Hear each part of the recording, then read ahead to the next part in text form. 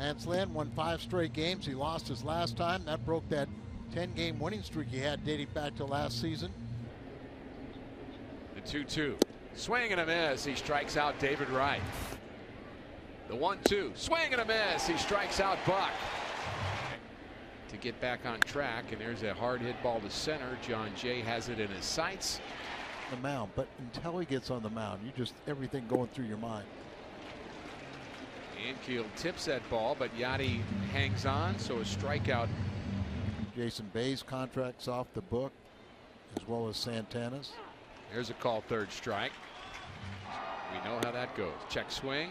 I don't think he held up. Neither does Laz Diaz. That's a strikeout. Second in the inning for Lance Lynn. And perhaps he's righted the ship. A lot of company on this Mets team.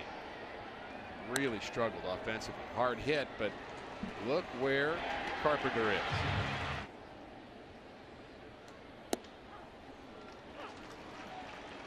Another strikeout for Lance Lynn. He gets John Buck for the second time. On the bullpen, they're going to be ineffective.